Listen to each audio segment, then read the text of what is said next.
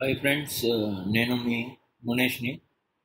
So ఈరోజు మనకు UGC నెట్లో థర్డ్ చాప్టర్ పేపర్ వన్లో కమ్యూనికేషన్ సో మీరు నా పాత వీడియోస్ చూడకపోతే ఈ ఛానల్లోనే రీసెర్చ్ యాప్టిట్యూడ్ మీద టీచింగ్ యాప్టిట్యూడ్ మీద నేను వీడియోస్ చేస్తున్నాను బ్రీఫ్ ఎక్స్ప్లెనేషన్ సో అది మీ ప్రిపరేషన్కి ఉపయోగపడవచ్చు సో అది చూడాల్సిందిగా నేను మిమ్మల్ని కోరుకుంటున్నాను.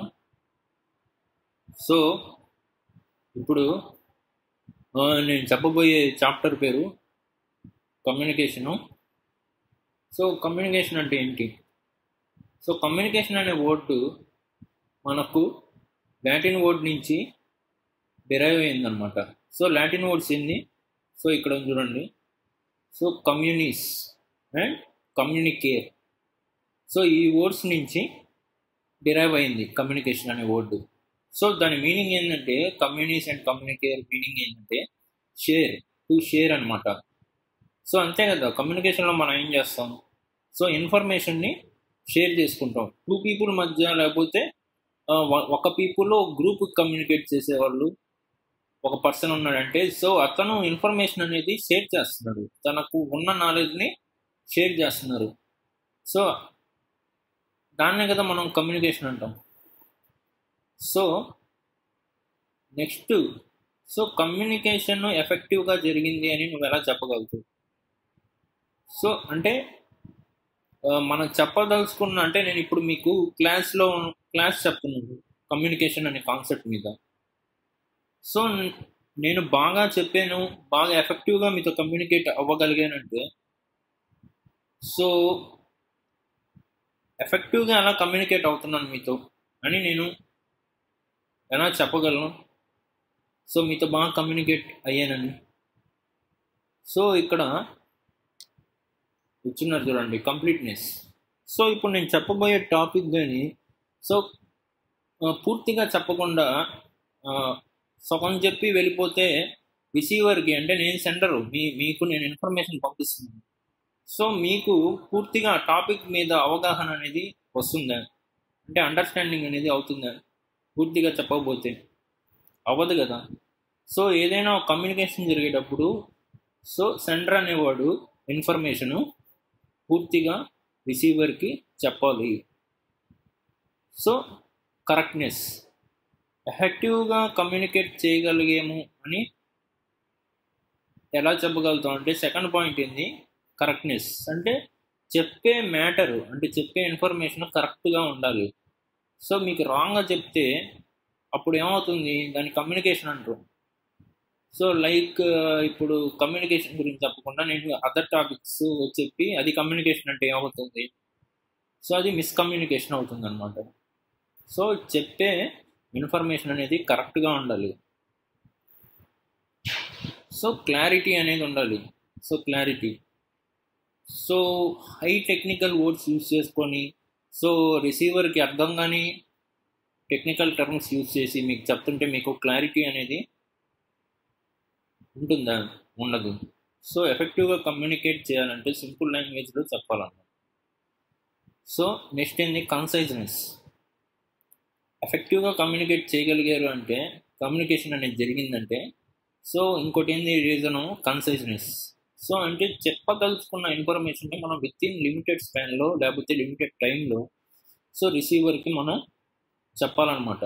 దాన్ని మనం కన్సైజ్నెస్ అంటారు. సో మీరు ఎక్కువ టైం తీసుకున్నారంటే రిసీవర్కి ఇన- మీకు మీరు చెప్పేంత వరకు శ్రద్ధగా ఇన్- అంటే శ్రద్ధగా ఓపికగా వినేంత ఓపిక ఉండదండి. సో మనం చెప్పాల్సిన ఇన్ఫర్మేషన్ లిమిటెడ్ టైంలో చెప్పాలి. సో ఫాస్ట్గా చెప్పాలన్నమాట. సో ఎదుటి వాడికి నువ్వైతే ఎవరికైతే ఇన్ఫర్మేషన్ పాస్ చేయాలనుకుంటున్నావో సో వాడికి అర్థమయ్యే లాంగ్వేజ్లో చెప్పాలి. ఇంగ్లీష్ తెలియదు ఎవరికైనా. సో వాడి ముందే ఇంగ్లీష్ మాట్లాడితే ఏమవుతుంది? ఇన్ఫర్మేషన్ పాస్ చేసినట్టు అవుతుంది. ఇన్ఫర్మేషన్ పాస్ చేయాలంటే వాడికి అర్థమయ్యే లాంగ్వేజ్లో చెప్తే సో కమ్యూనికేషన్ బాగా జరుగుతుందనమాట సో నెక్స్ట్ ఏంది? ఎఫెక్టివ్ లిజనింగ్ సో చెప్పేవాడే కాకుండా వినేవాడు కూడా శ్రద్ధగా వినాలి. సో అప్పుడే కమ్యూనికేషన్ ప్రాసెస్ అంటే కమ్యూనికేషన్ అనేది కంప్లీట్ అవుతుందన్నమాట. సో కమ్యూనికేషన్ అనేది బాగా జరిగింది అంటే మనకు కంప్లీట్నెస్ ఉండాలి కరెక్టివ్నెస్ ఉండాలి clarity conciseness understanding effective listening so ఇవన్నీ ఉంటేనే ఎఫెక్టివ్ కమ్యూనికేషన్ జరిగింది. సో ఇదేంది? ఇందాక ఇందాక చెప్పినట్టుగా సో నెక్స్ట్ టాపిక్ ఏంది ఇప్పుడు? క్యారెక్టరిస్టిక్స్ ఆఫ్ కమ్యూనికేషన్ అసలు what are the characteristics of communication అనేది ఇప్పుడు చూద్దాం. సో కమ్యూనికేషన్ ఎందుకు జరుగుతుంది అసలు? సో నాకు తెలిసిన ఐడియాస్ నాకు తెలిసిన ఇన్ఫర్మేషన్ అనేది నేను ఇంకో పర్సన్కి చెప్తున్నాను. సో ఇది ఒక అంటే ఎక్స్చేంజ్ చేస్తున్నాను అనమాట నాకు తెలిసిన ఇన్ఫర్మేషన్ ఇంకా నాకు తెలిసిన వ్యక్తులకి నేను చెప్తున్నాను. సో దాన్నే మనం exchange of ideas between two or more persons అంటారు. సో ఇదొక క్యారెక్టరిస్టిక్ కమ్యూనికేషన్లో ఖచ్చితంగా జరుగుతుంది అనమాట సో అదొక క్యారెక్టరిస్టిక్ అనమాట కమ్యూనికేషన్కి నెక్స్ట్ ఏంటి కంటిన్యూస్ ప్రాసెస్ సో కమ్యూనికేషన్ అనేది కంటిన్యూస్ ప్రాసెస్ అని మనం ఎలా చెప్పగలుగుతాం సో ఇప్పుడు నేను చెప్పిన ఇన్ఫర్మేషన్కి రిసీవర్ మళ్ళీ రెస్పాండ్ అవుతాడు. సో రెస్పాండ్ అయ్యి మళ్ళీ కమ్యూనికేషన్ కంటిన్యూ చేస్తాడు. సో అంటే ఇన్ఫర్మేషన్ నేను చెప్పిన ఇన్ఫర్మేషన్ రెస్పాండ్ అయ్యి సో నేను ఒక ఇన్ఫర్మేషన్ చెప్తాను సో ఇప్పుడు ఎర్త్ హ్యాస్ నైన్ ప్లానెట్స్ అని ఎర్త్ హ్యాస్ కాదు solar system has nine planets అని చెప్పాను. సో వాడు తిరిగి రెస్పాండ్ అవుతాడు ఎస్ అని. సో ఇట్లా కంటిన్యూ అవుతూ ఉంటుంది ప్రాసెస్ కమ్యూనికేషన్లో సో అది కమ్యూనికేషన్కి ఇంకో క్యారెక్టరిస్టిక్ అనమాట సో నెక్స్ట్ ఏంది? యాంటిసిపేటరీ ఎగ్జైట్మెంట్ అనమాట సో ఇది కూడా ఒక క్యారెక్టరిస్టిక్ అనమాట కమ్యూనికేషన్లో. సో అంటే ఒక ఇన్ఫర్మేషన్ చెప్పిన తర్వాత ఎదుటి బాని రియాక్షన్స్ కోసం కానీ చూడడము. సో అంటే వెయిట్ చేయడము యాంటిసిపేట్గా సో ఇది కానీ ఒక క్యారెక్టరిస్టిక్ కింద వస్తుందన్నమాట కమ్యూనికేషన్లో. సో నెక్స్ట్ ఏంటంటే process of communication. So process of కమ్యూనికేషన్లో ఇక్కడ మీరు డయాగ్రామ్లో చూస్తున్నారు కదా. సో ఇక్కడ కమ్యూనికేషన్లో ఎవరెవరు ఉంటారు ఏమేమి ఉంటాయి సో అనేది ఇప్పుడు చూడండి ఇది. సోర్స్. సో ఇది ఎవరు రిసిపెంట్ లేకపోతే రిసీవర్ అనుకోవచ్చు. సో లేదా డెస్టినేషన్. సో అంటే రిసీవర్ అన్న అవ్వచ్చు రిసిపెంట్ అన్న అవ్వచ్చు. సో ఇది ఇదేంటి ఛానల్ అనమాట decoding encoding noise feedback. So ఇప్పుడు మీరు నా క్లాస్ అంటున్నారు సో మీరెవరు? నా క్లాస్లో రెసిపియంట్స్ అనమాట సో నేను సెండరు. నేను నా క్లాసు వింటున్నారు కాబట్టి నేను సెంటర్ అవుతాను. సో నేను ఏ ఏ మీడియం యూజ్ చేసుకున్నాను? యూట్యూబ్ మీడియం చేసుకొని మీకు క్లాస్ చెప్తున్నాను. అది ఛానల్ అవుతుంది సో అది ఛానల్ అవుద్ది ఏం చెప్తున్నాను? కమ్యూనికేషన్ అనమాట కమ్యూనికేషన్ అనే కాన్సెప్ట్ గురించి మీకు నాలెడ్జ్ ఇస్తున్నాను. సో నా మైండ్లో ఉండే నాలెడ్జ్ని నేను తెలుగులోకి కన్వర్ట్ చేసి సో అంటే నా ఐడియాస్ని నా నాలెడ్జ్ని తెలుగులో కన్వర్ట్ చేసి మీకు సెండ్ చేస్తున్నాను అనమాట యూట్యూబ్ అనే మీడియం ద్వారా అంటే యూట్యూబ్ అనే ఛానల్ ద్వారా. సో అంటే ఒక మీడియంతో మీతో కమ్యూనికేట్ అవుతున్నాను. సో నేను కమ్యూనికేషన్ని తెలుగు లాంగ్వేజ్లో కన్వర్ట్ చేసుకొని తెలుగు మాటల్లో కన్వర్ట్ చేసి సో మీకు సెండ్ చేస్తున్నాను. సో అంటే ఇక్కడ నా మైండ్లో ఉండే నాలెడ్జ్ని తెలుగులోకి కన్వర్ట్ చేసుకున్నాను అనమాట అంటే కమ్యూనికేషన్ టూల్ ఏంటి? ఇక్కడ లాంగ్వేజ్ సో తెలుగులో కన్వర్ట్ చేస్తున్నాం కాబట్టి సో దాన్ని ఏమంటారు?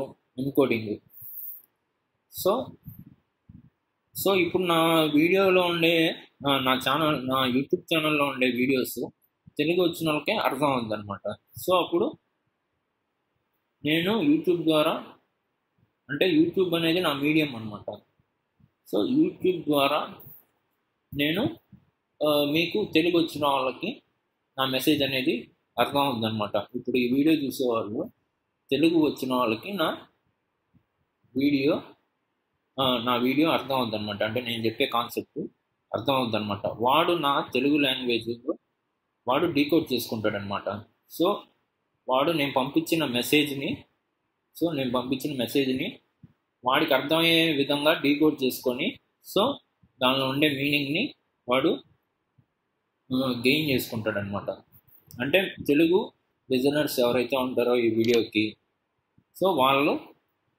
వాళ్ళకి అర్థం వాళ్ళకి అర్థం అవుతుంది కాబట్టి నా Telugu language.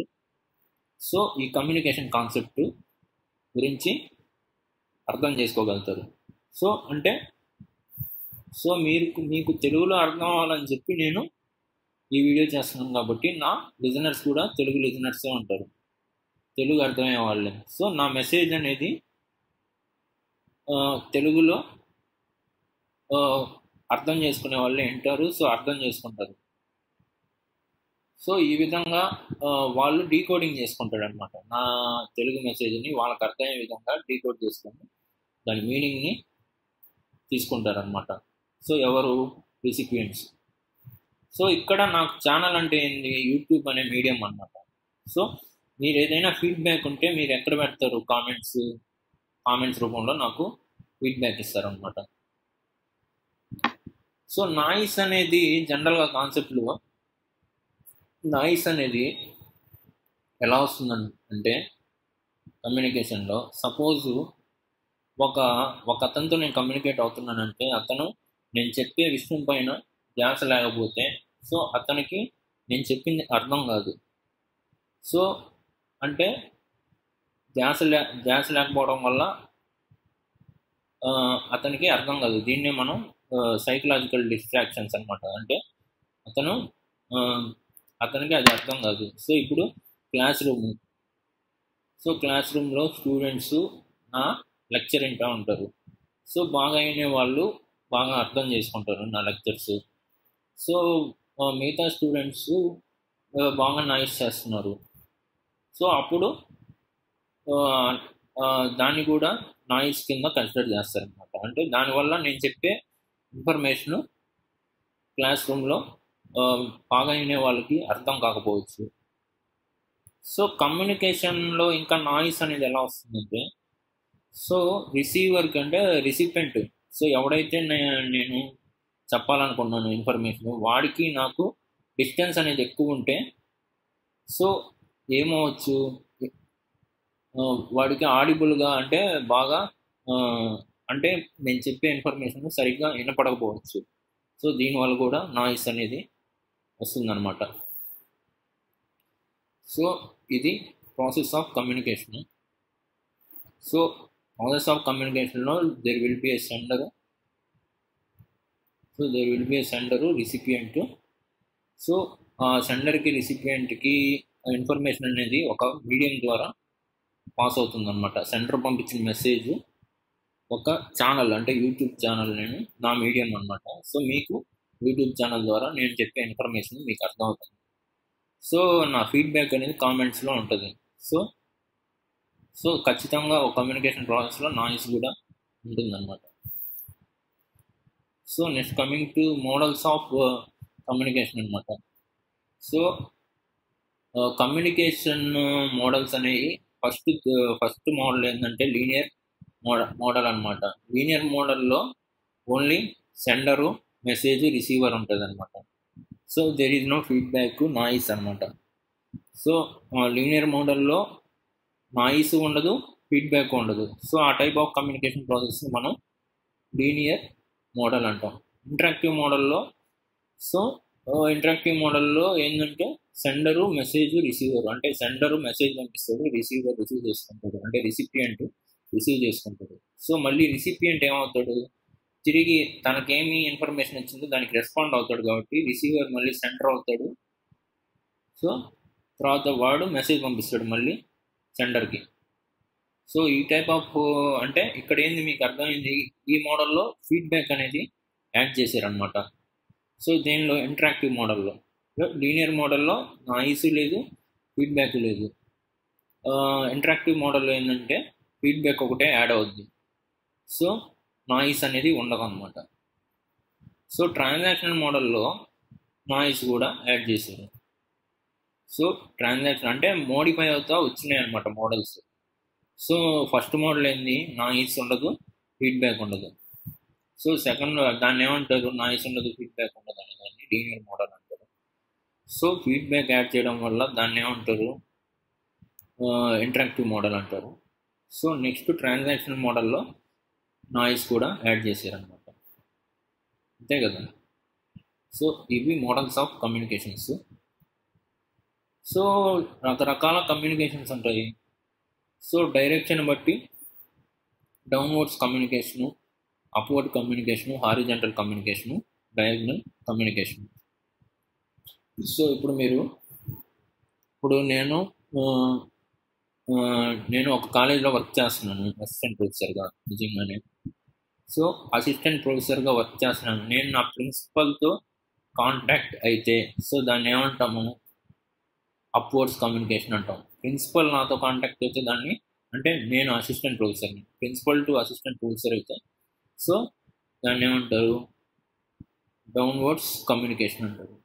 So horizontal communication అంటే నేను అసిస్టెంట్ ప్రొఫెసర్ని సో నా కొలీగ్ ఇంకో అసిస్టెంట్ ప్రొఫెసర్తో మాట్లాడితే దాన్ని ఏమంటారు? హారిజెంటల్ కమ్యూనికేషన్ అంటారు. సో డయాగ్నల్ కమ్యూనికేషన్ అంటే నేను హెచ్ఎండ్ఎస్ డిపార్ట్మెంట్ కింద ఉన్నాను.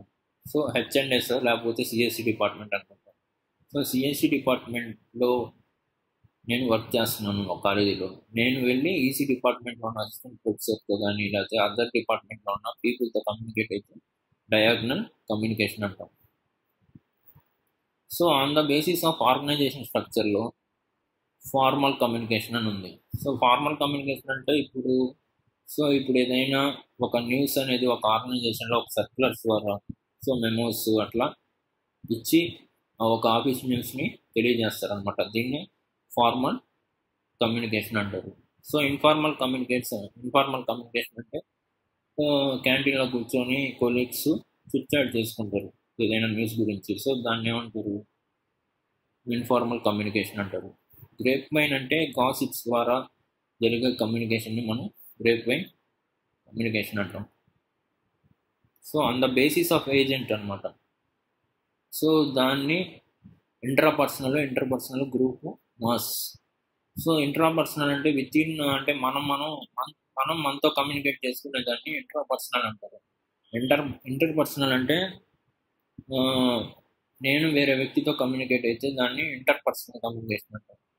సో నేను ఒక పది మందితో కమ్యూనికేట్ అవుతున్నాను. సో నేను ఒక క్లాస్లో ఒక ఒక ఇరవై మంది స్టూడెంట్స్ ఒక ముప్పై మంది స్టూడెంట్స్ చెప్తున్నా అంటే దాని గ్రూప్ కమ్యూనికేషన్ సో నేను లార్జ్ నెంబర్ ఆఫ్ పీపుల్తో కమ్యూనికేట్ అవుతున్నాను అంటే లైక్ ఇప్పుడు మీకు యూట్యూబ్లో క్లాస్ చెప్తున్నాను చాలా మంది చూసారంటే సో ఒక more than thousands of people చూస్తారు. సో దాన్ని మాస్ కమ్యూనికేషన్ అంటారు.